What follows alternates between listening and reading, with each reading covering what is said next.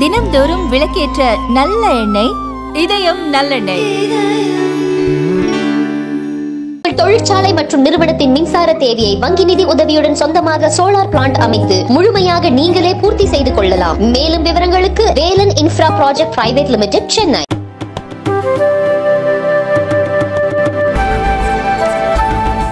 ஒருத்தருக்கு எத்தனை வயசானாலும் சொந்த வீட்டுக்கு திரும்ப வரும்போது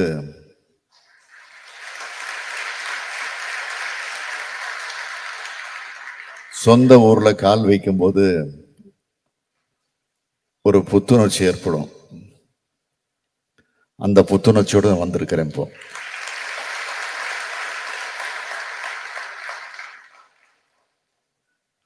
இப்ப புதுசா தேர்ந்தெடுக்கப்பட்டிருக்கக்கூடிய இளைஞரணியினுடைய மாவட்ட அமைப்பாளர்கள் துணை அமைப்பாளர்கள் உங்களை எல்லாம் இங்க பார்க்கும்போது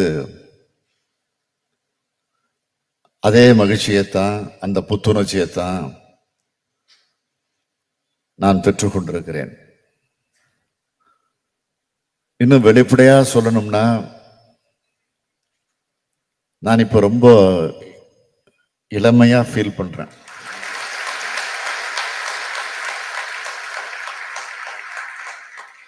ஏஜ் செவன்ட்டி ஆனால் ஒரு 20 மாதிரி இப்போ நிற்கிறேன்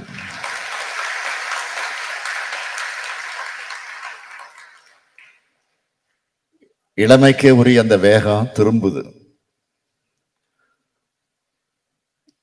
இதுக்கு எல்லா புகழுமே இந்த இளைஞரணிக்கு தான்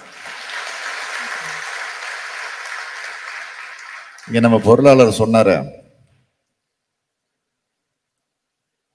மதுரை ஜான்சி ராணி பூங்காவில் தலைவர் கலைஞரோட தலைமையில் நடந்த விழாவில் நாங்கள் இந்த இளைஞரணியை உருவாக்கணும். அன்னைக்கு வந்த இளைஞர்கள் எப்படிப்பட்ட நெஞ்சுறுதியோட முகமுணர்ச்சியோடு இருந்தாங்களோ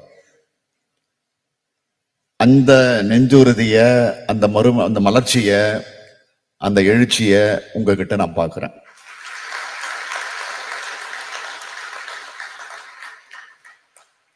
நீங்க இளவட்டங்கள் அல்ல கழகத்தோட இளம் ரத்தங்கள்.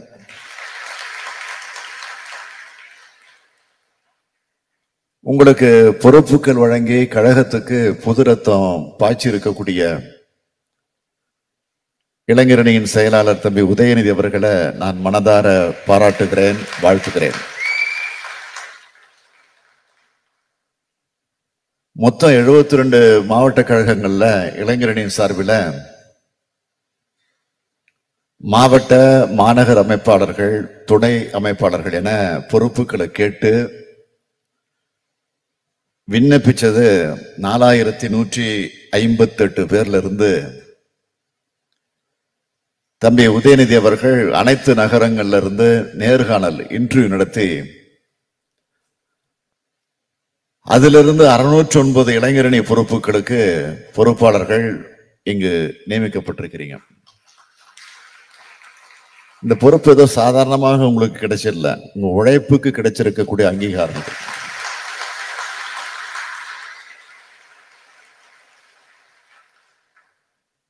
இதை நீங்க பொறுப்பா காப்பாற்றிக்கணும் இன்னும் கூட அடிக்கடி நான் சொல்றது உண்டு. இது பதவி இல்லை பொறுப்பு. நான் பல நேரங்களில் சொல்லியிருக்கிறேன் கலைஞர் அவர்கள் நான் மேயராக அந்த பொறுப்பை ஏற்றப்போ அந்த மேயருக்குரிய முதல் பேச்சை தயாரித்து கலைஞரிடத்தில் கொண்டு போய் காண்பிச்சப்போ என்னுடைய பேச்சில் ரெண்டு திருத்தத்தை செஞ்சார். அதில் நான் மேயர் பதவின்னு ரெண்டு இடத்துல போட்டிருந்தேன். அந்த பதவியை அடிச்சிட்டு பொறுப்புன்னு மாத்தினார். மாற்றிட்டு சொன்னார் ஏன் மாற்றினேன் தெரியுமா? இது உனக்கு கிடைச்சிருக்கிறது பதவி இல்லை. உனக்கு கிடைச்சிருக்கிறது பொறுப்பு. நீ பொறுப்போடு பணியாற்றணும். ஆக அதைத்தான் உங்களுக்கு நான் நினைவுபடுத்துகிறேன் ரெண்டாயிரத்தி பத்தொன்பது ஜூலை நாலாம் தேதி கழக இளைஞரணியின் செயலாளராக பொறுப்பேற்றது முதல் தம்பி உதயநிதி அவர்கள் பல்வேறு மகத்தான சாதனைகளை செஞ்சுக்கிட்டு வரார் இந்த நிகழ்ச்சிக்கு என்னிடத்துல தேதி கேட்டப்போ இளைஞரணியினுடைய செயல்பாடுகளை பத்தி அவர்கிட்ட நான் கேட்டேன். அவர் சொன்ன பட்டியலை கேட்டு எனக்கே மலைப்பாயிடுச்சு. அதுல சிதற சிலதை மற்றும் உங்ககிட்ட பகிர்ந்துக்க விரும்புறேன். அதாவது முப்பது லட்சம் உறுப்பினர்களை இளைஞரணிக்கு சேர்த்து கழகத்தோட வலிமையை இன்னும் கூட்டியிருக்கிறார்.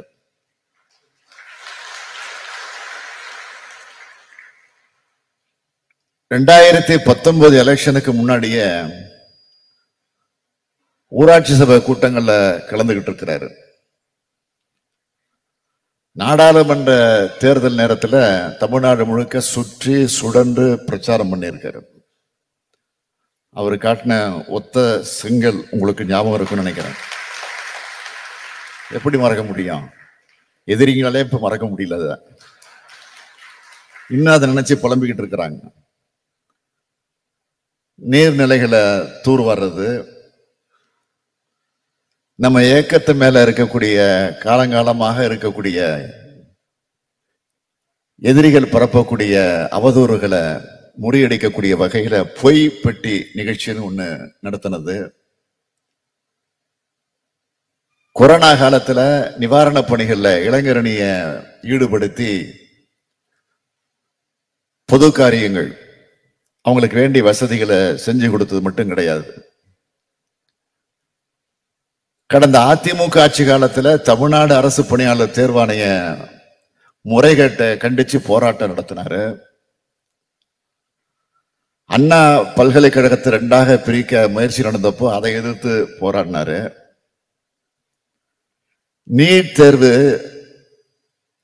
அதே போல இந்தி ஆதிக்கம் இது போன்ற அநீதிகளுக்கு எதிராக தம்பி உதயநிதியும் இளைஞரணியும் களமாடி இருக்காங்க.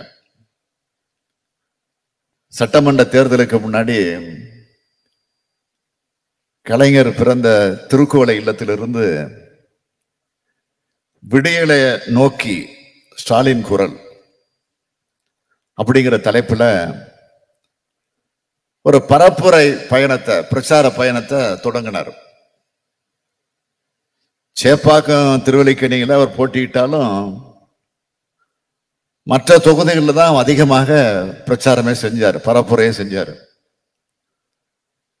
சட்டமன்ற உறுப்பினராக சேப்பாக்கம் திருவள்ளிக்கணி மக்களால் அங்கீகரிக்கப்பட்டு இப்போது அந்த தொகுதியில ஏராளமான முன்மாதிரி திட்டங்களை அறிமுகப்படுத்தி எல்லாருக்கும் ஒரு பெஞ்ச் மார்க் செட் பண்ணியிருக்காரு.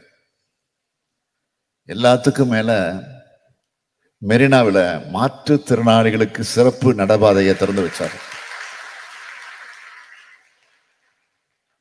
அதன் மூலமாக மாற்று திறனாளி தோழர்கள் அலையோடு விளையாடுகிற அந்த வீடியோவை பார்த்திருப்பீங்க. அதை பார்த்தப்போ என் மனசில் சொல்ல முடியாத அளவு மகிழ்ச்சி ஏற்பட்டுச்சு. அவருக்கு மட்டும் இல்லை நம்ம ஆட்சிக்கே மிகப்பெரிய நல்ல பெயரை அந்த மனித செயல்பாடை சம்பாதிச்சு கொடுத்துச்சு. இப்போ எல்லாத்துக்கும் மேலே அதுக்கு ஒரு எல்லா சிறப்புகளுக்கும் ஒரு மகுடம் வைப்பது போல இருநூத்தி முப்பத்தி நாலு தொகுதிகளில் திராவிட மாடல் பயிற்சி பாசற கூட்டங்களை ஒருங்கிணைச்சு நடத்தி அதையும் முடிச்சார். இது அவருடைய மகத்தான சாதனம். இந்த திராவிட மாடல் பயிற்சி பாசற கூட்டங்கள் தான் நம்முடைய இயக்கத்துக்கான விதைகள். இப்போ மாண்புமிகு இளைஞர் மற்றும் விளையாட்டு மேம்பாட்டுத்துறை அமைச்சராக உதயநிதி செஞ்சுக்கிட்டு வர பணிகள் எல்லாம் நான் சொல்லித்தான் நீங்க தெரிஞ்சுக்கணும்னு அவசியம் இல்லை. இப்படி கட்சி பணி ஆட்சி பணி ஆகிய ரெண்டையும் ஒரே நேரத்தில் மிக மிக சிறப்பாக செயல்பட்டு கழகத்துக்கும் ஆட்சிக்கும் நல்ல பேரை வாங்கி தராரு நம்முடைய மாண்புமிகு உதயநிதி அவர்கள். சில நாட்களுக்கு முன்பு திருப்பத்தூர் திருவண்ணாமலை கள்ளக்குறிச்சி போன்ற மாவட்டங்களுக்கெல்லாம் ஒரு சுற்றுப்பயணம் செஞ்சார். அது பற்றி விளக்கமா விரிவா? நம்முடைய திருவண்ணாமலை மாவட்ட செயலாளர் மாண்புமிகு பொதுப்பணித்துறை அமைச்சர் வேலு அவர்கள் முரசொலியில் அதை பற்றி ஒரு கட்டுரை எழுதியிருந்தார். அதை பார்த்தா உங்களுக்கு நல்லா தெரியும். ஒரு பெரிய சூறாவளி சுற்றுப்பயணம் எப்படி தேர்தல் நேரத்தில் செய்வோமோ அது மாதிரி செஞ்சிருக்காரு. இதை ஏன் நான் இங்க குறிப்பிட்டு சொல்றேன்னா புதிய பொறுப்பாளர்களாக உங்களுக்கு அந்த பொறுப்பை ஏற்றுக்கொண்டிருக்கக்கூடிய உங்களுக்கு வேற யாரையும் உதாரணம் காட்ட விரும்பல அவரையே உங்களுக்கு உதாரணம் காட்ட விரும்புகிறது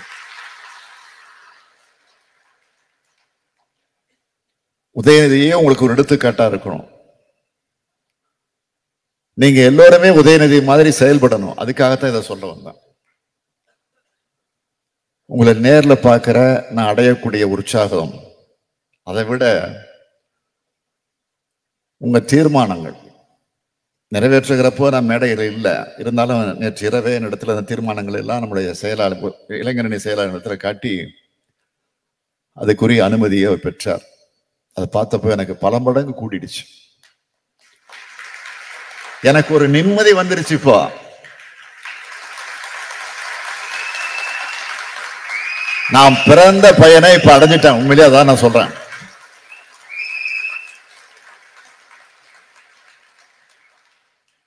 கழகத்தின் மேல ஆர்வத்தோடு இருக்கிற பதினஞ்சு முதல் முப்பத்தஞ்சு வயசு வரை இருக்கக்கூடிய இளைஞர்களை உறுப்பினர்களாக இதுல சேர்ப்பதற்கு அதற்காக நிறைவேற்றி இருக்கக்கூடிய இல்லந்தோறும் இளைஞரணி. அந்த தீர்மானத்தை நான் பாராட்டுறேன். இது மிக முக்கியமான தீர்மானம். கடந்த சில ஆண்டுகளா கழகத்தை நோக்கி வர இளைஞர்களோட எண்ணிக்கை அதிகமாயிருக்கு. அதுவும் ரெண்டு ஆண்டுகளில் நம்முடைய திராவிட மாடல் ஆட்சி நிறைவேற்ற நான் முதல்வன் புதுமை பெண் இல்லம் தேடி கல்வி போன்ற திட்டங்கள் மாணவர்கள் இளைஞர்களுக்கு நம்ம மேல பெரிய நம்பிக்கைய ஏற்படுத்தியிருக்கு. கழகத்துக்கு மேலும் பற்றோட இருக்கிறவங்கள தேடி போய் நாம தான் உறுப்பினர் ஆக்கணும் அதே போல இளம் பேச்சாளர்களை அடையாளம் கண்டு மாவட்டந்தோறும் திராவிட மாடல் பயிற்சி வகுப்புகளை மீண்டும் தொடங்க போறோம்னு நிறைவேற்றிருக்கக்கூடிய தீர்மானமும் ரொம்ப ரொம்ப முக்கியமான தீர்மானம். தொடர்ச்சியா திராவிட மாடல் கூட்டத்தை நடத்தி ஆகணும். அந்த பாசர கூட்டங்களை நடத்தணும். நம்முடைய கொள்கைகளையும் வரலாற்றையும் திரும்ப திரும்ப சொல்லணும். அப்படி சொன்னாதான் கொள்கையும் வலிமை பெறும். கேட்கிறவங்களோட மனசுலையும் அது தங்கும் அப்படின்னு தலைவர் கலைஞர் அவர்கள் அடிக்கடி சொல்வார்கள் அதனால பாசர கூட்டங்களை நடத்திக்கிட்டே இருங்க. புதுசா இளைஞரணிக்குள்ள வர்றவங்க திராவிட இயக்கத்தினுடைய கொள்கைகளை பத்தி முழுசா தெரிஞ்சவங்களா புரிஞ்சவங்களா வரணும். நம்முடைய இயக்கம் பேசி பேசி வளர்ந்த இயக்கம் எழுதி எழுதி வளர்ந்த இயக்கம் என்னை பொறுத்த வரைக்கும் நம்ம இயக்கத்துல உறுப்பினரா எத்தனை பேர் சேர்றாங்கிறத விட அந்த எண்ணிக்கை முக்கியங்கிறத விட சேர்ந்த இளைஞர்கள் திராவிட எண்ணம் கொண்டவர்களாக இருக்கிறார்களா? அதை எப்படி மாத்த போறீங்க? அப்படிதான் எனக்கு முக்கியம். அதைத்தான் நான் உன்னிப்பாக கவனிச்சுக்கிட்டு இருக்கிறேன்.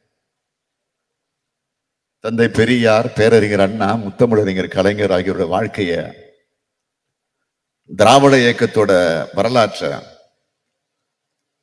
அவர்களுக்கு சொல்லி தரணும். திராவிட இயக்கத்தினுடைய அடிப்படை கொள்கையிலான சமூக நீதி மொழிப்பற்று இன உரிமை மாநில சுயாட்சி ஆகியவற்றை குறித்து அவர்களுக்கு வகுப்பு நடக்கணும் நூறு ஆண்டுகளுக்கு முன்பு தமிழ்நாடு எப்படி இருந்துச்சு? இன்னைக்கு எப்படி இருக்கு? ஐம்பது ஆண்டுகளுக்கு முன்பு தமிழ்நாடு எப்படி இருந்துச்சு? இன்னைக்கு எப்படி இருக்கு? ஒவ்வொரு வீட்லேயும் அன்னைக்கு எவ்வளவு பேர் படிச்சிருந்தாங்க? இன்னைக்கு எவ்வளவு பேர் படிச்சிருக்காங்க? அன்னைக்கு டிகிரி வாங்கினவங்க எத்தனை பேர்? இன்னைக்கு எத்தனை பேர் டிகிரி வாங்கி இருக்கிறாங்க பட்டதாரிகளாக மாறி இருக்கிறாங்க டாக்டர்கள் இன்ஜினியர்கள் வழக்கறிஞர்கள் இந்த கணக்கெல்லாம் பார்த்தால உங்களுக்கு திராவிட இயக்கத்தோட சாதனை நல்லா புரியும். இது அடுத்தவங்ககிட்டயும் சொல்ல முடியும். இந்த சாதனைய எல்லார்கிட்டையும் கொண்டு போய் சேர்க்கிறது அதற்கு உதவியாகத்தான் நம்முடைய துணை பொதுச் செயலாளர் நம்முடைய அன்பிற்கினி ஆர் ராசா அவர்கள் கிட்டத்தட்ட ஓராண்டு காலத்திற்கு மேலாக அவர் தொகுத்திருக்கிறாரு இருபது நூல்கள். அதை உங்களுக்கு கொடுத்திருக்கிறோம் இப்போ. அதுல நான் கடந்த ரெண்டு வருஷமா பேசின முக்கியமான பேச்சுக்களை அதை வகுத்தெடுத்து அதையும் அவர் தொகுத்து கொடுத்திருக்கிறார். இது எல்லாமே திராவிட இயக்கத்தோட பாலப்பாடங்கள் இது எல்லாத்தையும் படிங்க திரும்ப திரும்ப படிங்க. ஒரு நாள் இருபது புக்கு இருக்கு அதுல. ஒரு நாளைக்கு ஒரு புக்கு படிச்சா போதும். நைட்ல படுக்கிறதுக்கு முன்னாடி பத்து நிமிஷத்துல படிச்சு முடிச்சிடலாம். ஒரு நாளைக்கு ஒரு புக்கு படிங்க. ஆக படிங்க திரும்ப திரும்ப படிங்க. படிக்க படிக்கத்தான் சிந்திக்கக்கூடிய திறன் அதிகரிக்கும். அடுத்தவங்களுக்கு எடுத்து சொல்லக்கூடிய அளவுக்கு உங்களுக்கு அந்த ஆற்றல் வரும். உங்களுக்கு தூண்டுதலாக அது அமையும். இங்க எதுவும் தானா மாறல. மாத்துனது யார்? இதையெல்லாம் உணர்த்துறதுக்கு இந்த புத்தகம் நிச்சயம் பயன்படும். இதே தமிழ்நாட்டில் தான் படிக்கக்கூடாது சாலைகளில் நடக்கக்கூடாது கோயிலுக்குள் வரக்கூடாது பதவிகளில் நிற்கக்கூடாதுன்னு அடக்குமுறை இருந்துச்சு. அந்த காலத்தை உடைச்சி முன்னேறி வந்திருக்கிறோம். அந்த விழிப்புணர்வை தொடங்கி வச்சவர் தான் தந்தை பெரியார். இந்த முன்னேற்றத்தை அடித்தளமாக அமைத்து கொடுத்தவர்கள் தான் பேரறிஞர் அண்ணா நம்முடைய முத்தமிழறிஞர் கலைஞர். இவங்க போட்டு தந்த அடித்தளத்துல தான் நம்முடைய திராவிட மாடல் ஆட்சி இன்னைக்கு நடந்துகிட்டு இருக்கு. இத நம்முடைய தமிழ்நாட்டு இளைஞர்களுக்கு நீங்க உணர்த்தணும். அப்படி உணர்ந்த இளைஞர்கள் அடுத்தவங்களுக்கு இதை பரப்பணும்.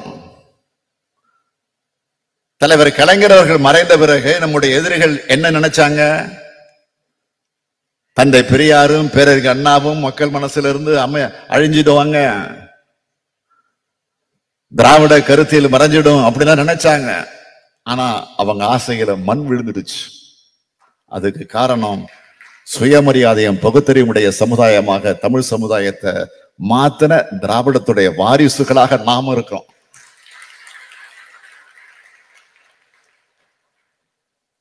நமக்கு அடுத்தும் திராவிட இயக்கத்தோட கொள்கைகளை எடுத்து சொல்லுகிற வாரிசுகள் இங்கே உருவாகிட்டே இருக்கணும்.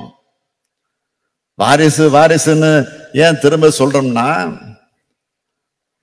நம்முடைய எதிரி எந்த ஆயுதத்தை எடுக்கிறானோ நாமும் அந்த ஆயுதத்தை எடுக்கணும்.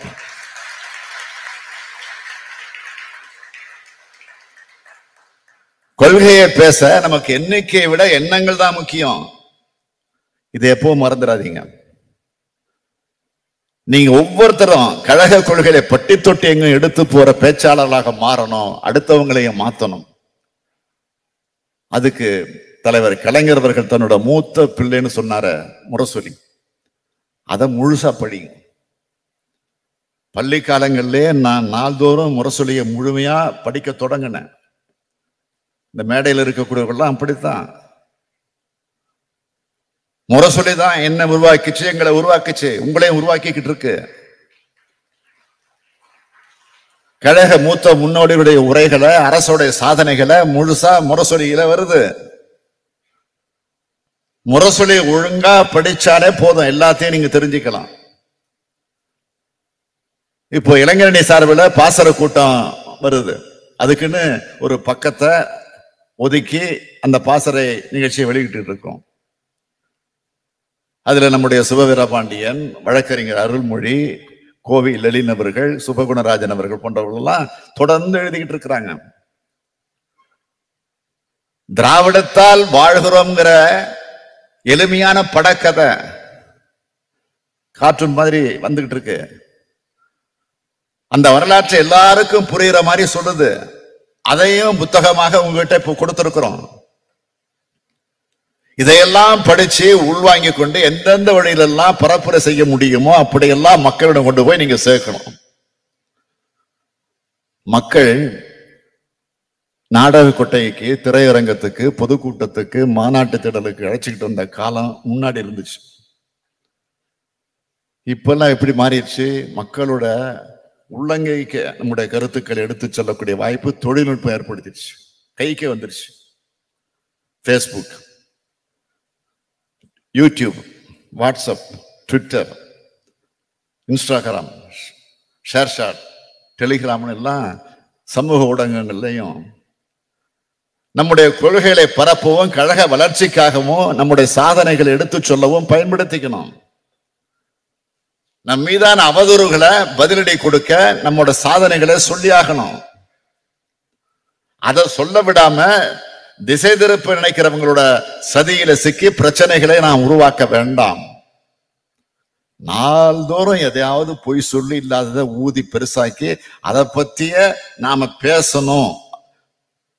அப்படின்னு சதி செய்யறவங்களோட கருத்துக்களுக்கு யாரும் முக்கியத்துவத்தை தராதீங்க. என்னை பொறுத்த வரைக்கும் சுயமரியாதை கொள்கையில தந்தை பெரியார் இனமான எழுச்சியில பேரறிஞர் அண்ணா இயக்கத்தை வழிநடத்துறதுல நம்முடைய தமிழின தலைவர் கலைஞர் மொழி உரிமையில இனமான பேராசிரியர்னு இந்த நாலு பேரோட நிழற்குடையில நிக்கிறவன்னா இவங்க தான் என்ன செதுக்கிய சிற்பிகள். இங்க இருக்கக்கூடியவங்களை செதுக்கிய சிற்பிகள் அவர்கள் தான் இந்த நாலு பேரும் தனி மனிதர்கள் அல்ல கருத்தியல் அடையாளங்கள். அவங்கள மாதிரியே நானும் கருத்தியல் அடையாளமாகத்தான் இருக்க விரும்புகிறேன். இப்படித்தான் நீங்களும் இருக்கணும். இதே நோக்கத்தோடு தான் நீங்கள் வளர வேண்டும். உங்களுடைய வளர்ச்சிங்கிறது பதவி வளர்ச்சியாக இல்லாம கொள்கை வளர்ச்சியாக இருக்கணும். தமிழ்நாட்டுடைய வளர்ச்சியாக இருக்கணும். நான் முதலமைச்சர் நாற்காலியில உட்கார்ந்துக்கிறதுனால பெருமை கொள்றேன்னு நினைக்கிறீங்களா? இல்ல நாட்டுக்கு நன்மை செய்யற இடத்துல நான் இருக்கிறேன். அப்படித்தான் நான் பெருமைப்படுறேன். பேரறிஞர் அண்ணாமும் தலைவர் கலைஞரும் உட்கார்ந்த முதலமைச்சர் நாற்காலியில் நான் உட்காருவேன்னு கனவுல கூட நினைச்சது கிடையாது. அவங்கள மாதிரி இந்த நாட்டுக்கு இனத்துக்கு தொண்டாற்ற வேண்டும் என்று நினைச்சு நாள்தோறும் நான் உழைச்சேன். அதனால இந்த உயர்வை பெற்றேன். இது தனிப்பட்ட என்னுடைய ஆட்சி மட்டும் அல்ல பல நூற்றாண்டுகளாக ஒரு இனம் தாங்கி நிற்கிற கொள்கைகளை அந்த மக்களோட ஆதரவோடு செயல்படுத்துகிற திராவிட மாடல் ஆட்சி இது. இந்த இயக்கம் எந்த நோக்கத்துக்காக நூறு ஆண்டுகளுக்கு முன்னாடி ஆரம்பிக்கப்பட்டுச்சோ அந்த நோக்கத்தை செயல்படுத்துவதற்கான ஆட்சி இது. இதை இந்தியா முழுமைக்கு எடுத்து செல்லணும்னா இப்போ இந்தியா கூட்டணி உருவாகி இருக்கு.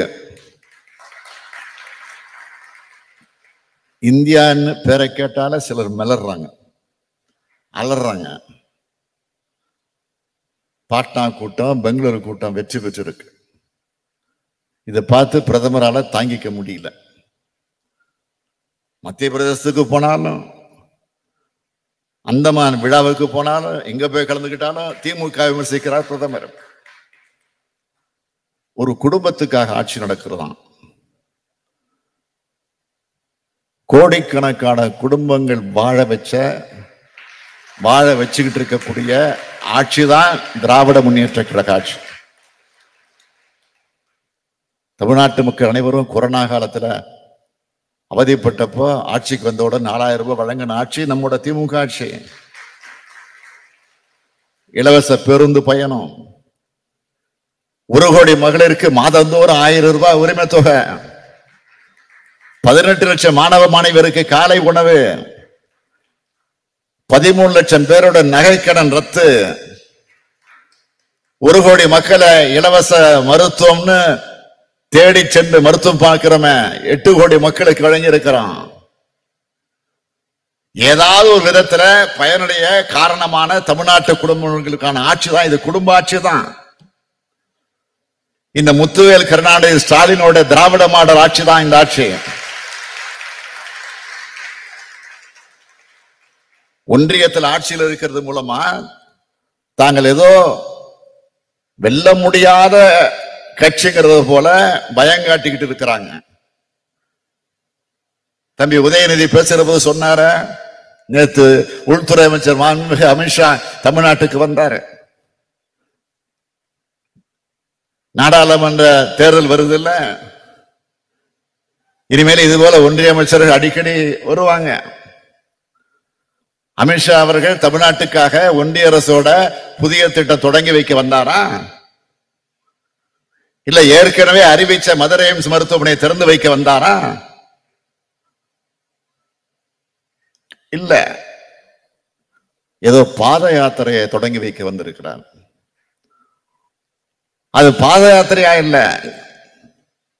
குஜராத்தில் ரெண்டாயிரத்தி இரண்டாம் ஆண்டும் இப்போ மணிப்பூர்ல நடந்த பாவங்களுக்கு மன்னிப்பு கேட்கிற பாவ யாத்திரை. அது பாத யாத்திரை என்ற பாவ யாத்திரை இந்த நாட்டோட உள்துறை அமைச்சர் அவர் நான் கேட்கிறேன் இந்த ரெண்டு மாசமா பத்து எரிகிற மணிப்பூருக்கு போய் அமைதி யாத்திரை நடத்த முடிஞ்சுதா? முடியலையே. அமைதியா இருக்கிற தமிழ்நாட்டுல கலவரம் ஏற்படாதா என்ற எண்ணத்தோட பாத யாத்திரையை தொடங்க வைக்க வந்திருக்கிறாரு. நேத்து பேசி இருக்கிறாரு திமுக குடும்ப கட்சின்னு சொல்றாரு. கேட்டு கேட்டு புளிச்சு போன ஒண்ணு. நானும் இவ்வளவு சொல்லிட்டேன். வேற ஏதாவது மாத்தி சொல்லுங்க பாஜக எந்த தலையோட வாரிசும் அரசியல் பதவியில் இல்லையா? எல்லோரும் நாளைக்கே காலையில் விலகிடுவாங்களா?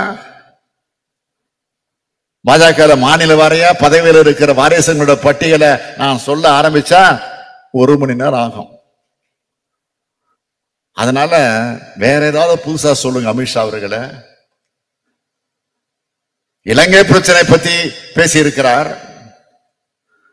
தமிழ் மக்களுடைய ரத்த அத்தக்கரை படிஞ்ச ராஜபக்சவை தமிழ்நாட்டு அரசியல் தலைவர்கள்லாம் எல்லாரோட எதிர்ப்பையும் மீறி ரெண்டாயிரத்தி பதினாலாம் ஆண்டு பிரதமர் நரேந்திர மோடியோட பதவியேற்பு விழாவுக்கு இலங்கை பிரச்சனையை பத்தி பேச உரிமை இருக்கா? அந்த விழாவுக்கு அழைச்ச ராஜபக்சவை அழைச்சு விழா நடத்தினாங்களே பதவியேற்பு விழா. அதை பத்தி பேசுறதுக்கு அனுமதி அருகதை இருக்கா? நான் கேட்கிறேன் சொல்லுங்க. திடீர்னு அமித்ஷாவுக்கு மீனவர்கள் மீது பாசம் பொங்கி இருக்கு. காங்கிரஸ் ஆட்சி காலத்துல தமிழ்நாட்டு மீனவர்கள் இலங்கை கடற்படையை தாக்கினப்போ அன்றைய பிரதமர் வேட்பாளராக நரேந்திர மோடி என்ன சொன்னார்? நாங்க ஆட்சிக்கு வந்தா ஒரு மீனவர் கூட உயிரிழக்க மாட்டாங்க. தமிழ்நாட்டு மீனவர்களுக்கு இலங்கையால் பிரச்சனை குஜராத் மீனவர்களுக்கு பாகிஸ்தானால் பிரச்சனை ரெண்டு மாநில மீனவருடைய பிரச்சனையை நாங்கள் தீர்த்து வைப்போம் கூட்டு நடவடிக்கை எடுப்போம்னு ராமநாதபுரம் பொதுக்கூட்டத்தில் வந்து பிரதமர் மோடி சொன்னார். அவர் ஆட்சிக்கு வந்த பிறகு ஆ- ரெண்டாயிரத்தி பதினேழுல தங்கச்சி மடம் மீனவர் பிரிட்டோ கொலை செய்யப்பட்டிருக்கிறாங்க. ரெண்டாயிரத்தி பதினேழுல உங்க ஆட்சி தான் நடந்துச்சு. அது மட்டுமல்ல இந்த ஆண்டு தொடக்கத்தில் பிரதமர் மோடி சென்னையில பேசினார். ஆயிரத்தி அறுநூறு மீனவர்கள் என்னோட ஆட்சி காலத்தில் விடுவிக்கப்பட்டிருக்காங்கன்னு சொன்னார். அப்படின்னா அவரோட ஆட்சி காலத்துல ஆயிரத்தி அறுநூறு மீனவர்கள் கைது செய்யப்பட்டிருக்காங்க. ஒத்துக்கிறாரா? அதான அர்த்தம். முன்னூத்தி பதிமூணு மீனவ படகுகள் விடுவிக்கப்பட்டிருக்கிறது சொன்னார். அப்படின்னா அவரோட ஆட்சி காலத்துல முன்னூற்றி பதிமூணு படகுகள் சிறைபிடிக்கப்பட்டதுன்னு தானே அர்த்தம். அதை ஒத்துக்கிறாரா? இப்படி தமிழ்நாட்டு மீனவர்கள் தாக்கப்படுவது உள்துறை அமைச்சருக்கு தெரியுமா? அது மட்டும் இல்ல இன்னொன்னு சொல்றாரு. அமைச்சர் செந்தில் பாலாஜியோட கைது பத்தியும் பேசியிருக்கிறார். நான் ஒரு கேள்வி கேட்கிறேன் அமித்ஷா அவர்களே. குற்ற வழக்குகளில் தொடர்புடைய ஒன்றிய அமைச்சர்கள் எல்லாம் பிரதமரின் அமைச்சரவையில் தானே இருக்காங்க? செந்தில் பாலாஜி அமைச்சராக வைத்திருப்பது பற்றி கேள்வி கேட்க நீங்க பிரதமர் மோடியிடம் இந்த கேள்வியை கேட்கக்கூடிய தைரியம் அமித்ஷாவுக்கு உண்டா? இந்த வழக்கு என்னால பேச முடியும். ஆனால் உச்ச நீதிமன்றத்தில் இருக்கு இந்த வழக்கு. அது குறித்து நான் விரிவா பேச முடியாது. பாஜக தன்னோட அரசியல் எதிரிகளை செலவு செய்கிற வாஷிங் மிஷினா தான் அமலாக்கத்துறையை பயன்படுத்தி வருகிறது. இந்தியா முழுக்க தெரிஞ்ச ரகசியம் இது. புலனாய்வு அமைப்புகளை வச்சு தங்களுக்கு எதிரான எதிரானவங்களை மிரட்டுறது அவங்கள பாஜக பக்கம் மாத்துறது அவங்க எல்லாரும் பரிசுத்தமானவங்கன்னு மாத்திட்டு பாஜகவோட அசிங்கமான அரசியல் பாணியாக இது விளங்கிட்டு இருக்கு. அதனால்தான் உச்ச நீதிமன்றமே அமலாக்கத்துறையினுடைய பதவி நீட்டிப்பு ரத்து செஞ்சு ஜூலை முப்பத்தொன்னுக்கு பிறகு அவர் நீடிக்க கூடாது என்று கூறிய பிறகு திரும்ப அதே உச்ச நீதிமன்றத்துக்கு ஓடி சென்று இன்று அவருக்கு மேலும் ஒரு மாதங்களுக்கு இரு மாதங்களுக்கு பணி நீடிப்பு வாங்கி இருக்கிறது என்றால் என்ன காரணம்?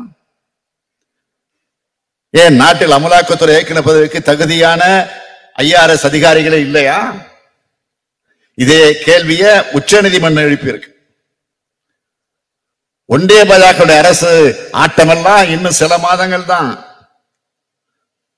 ஜனநாயகம் சமூக நீதி மதச்சார்பின்மை அரசியல் சட்டம் அனைத்தையும் அழிக்க முயற்சிக்கக்கூடிய பாஜக ஆட்சி முடிய போகுது.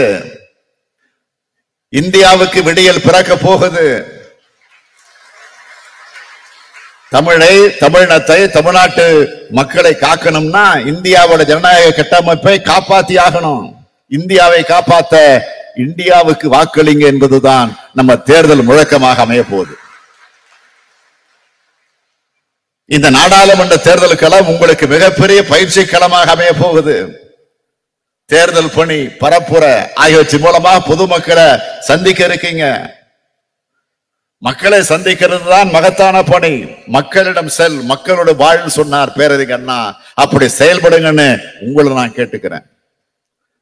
உங்களை போன்ற இளைஞரணி மாவட்ட அமைப்பாளர்களும் துணை அமைப்பாளர் இருந்தவங்க தான் இன்னைக்கு சட்டமன்ற உறுப்பினர்களாக நாடாளுமன்ற உறுப்பினர்களாக அமைச்சர்களாக இன்றைக்கு இருக்கிறோம். நானும் இளைஞரணியிலிருந்து வந்தவன் தான். இருப்பவர்கள் பெரும்பாலும் இளைஞர்களில் இருந்து வந்து உட்கார்ந்திருக்கக்கூடியவர்கள் தான் நாங்கள் இருந்த இடத்திற்கு நீங்களும் நிச்சயமாக ஒரு கட்டத்திலே வரத்தான் போகிறீர்கள். அதில் எந்த மாற்றமும் கிடையாது. எதிர்காலத்தில் உயர்வான இடத்தை பெறத்தான் போகிறீர்கள். ஆகவே தலைவர் என்ற முறையிலே மட்டுமல்ல உங்களில் ஒருவனாக வாழ்த்துகிறேன். நன்றி வணக்கம்.